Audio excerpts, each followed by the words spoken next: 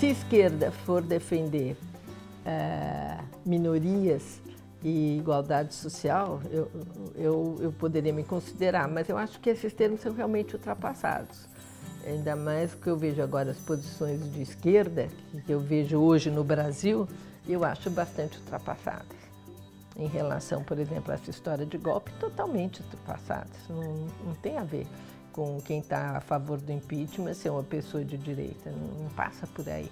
Passa que passa por, por, pelo quem está a favor do impeachment, passa por perceber que o Brasil vive uma situação de tal seriedade que, que respeitando a Constituição, nós temos que ter outro momento para o Brasil poder sair da paralisação, que não é com volta Dilma, porque me parece até às vezes de extrema irresponsabilidade é, isso de, é, por exemplo, o que está ocorrendo na comissão de impeachment, né? Você tentar procrastinar o máximo que pode, que cinco, meia dúzia ficam fazendo, para passar os 180 dias não ter sido votado. Aí volta Dilma. E eu tenho vontade de perguntar volta Dilma para fazer o quê, se ela não conseguiu fazer. E os primeiros meses, o primeiro mês do, do, do Michel Temer, por mais que tenha sido uma guerra, como ele mesmo diz, já, já deu uma credibilidade aumentada para o país, já passaram leis que ela não tinha conseguido nem pensar em, em, em, em em votação, e, e, o país começa a ter uma política econômica que é a saída para a nossa situação.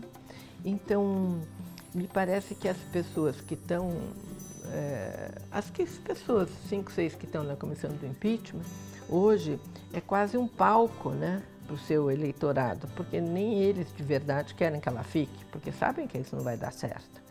Então, hoje a posição correta é pensar no Brasil, porque cada dia que essa comissão fica mais um dia, é um dia que esfarela a economia porque enquanto não começar o governo de fato do presidente, nós não temos a, o investimento. O investimento está prontinho para esperar para ser feito, mas está esperando acabar a interinidade para ter certeza de que vai ter, o, o país entrou, encontrou um rumo.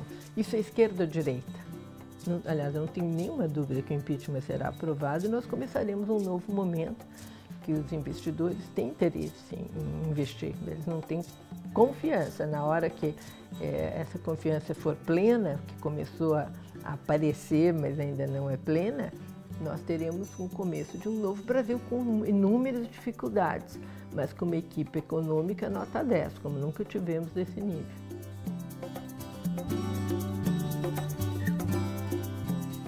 A gente estava no céu e aí nós do céu íamos para um evento. Mas eu estava sem colete, mas o colete sempre andava no carro quando eu não punha. Porque às vezes eu devia ser verão, porque às vezes era muito quente para andar com aquele colete. Aí, aí avisaram que tinha, tinha, tinha uma ameaça real de, de sair um tiroteio aqui, de uma ameaça para mim, que era melhor eu cancelar. Era, uma, era um lugar de urbanização que eu estava esperando há muito tempo e as pessoas também, era a maior festa. Aí eu falei, não, eu vou. Enfiei o colete e fui. E aí como eu estava apavorada, não é que eu não estivesse, né?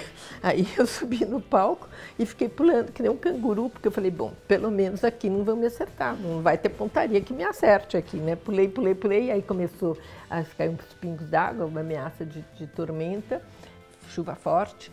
Aí eu falei, e agora todos vão voltar para casa, porque com essa chuva ninguém pode esperar, ficar na chuva, não quero ninguém molhado e tal.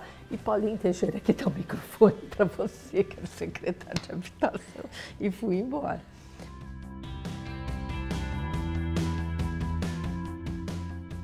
Eu não posso falar por eles, né? Mas eu posso falar por mim, né? Que no Senado ainda a pessoa que, que os escuta, que os recebe e que luta por eles sou eu. Não só pelas emendas a esse Código Penal que eu estava te dizendo, mas, por exemplo, recentemente eu fui, eu fui relatora de um projeto do Aécio Neves, que permitia a mulher, a, quando morresse o cônjuge, independente de ter previdência, o cônjuge sobrevivente poderia é, ter um respaldo da Previdência. Né? Era um projeto bom, muito bom. E eu acrescentei é, nas relações homoafetivas. Então, eu estou muito atenta a isso o tempo todo, né? E eu tenho um projeto desde 2011 permitindo o uso do nome social para é, trans, e que foi o tema da parada desse ano, né?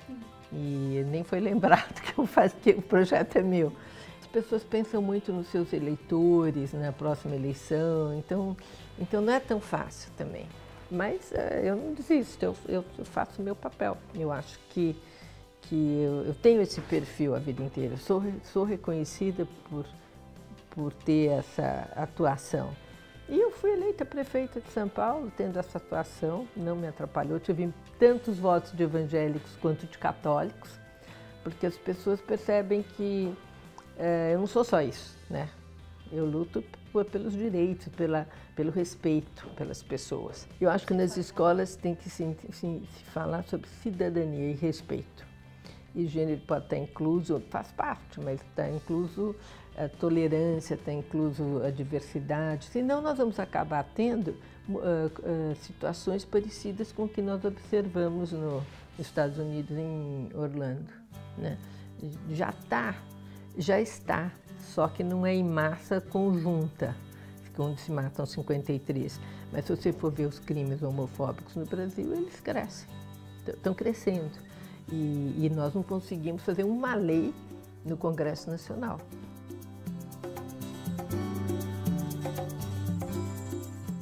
Olha, eu gosto muito de responder o Facebook, não, é, mas a parte de, de gente que, que, que, não de Messenger, mas a outra, na sua página. É, é eu, eu, na sua página responder.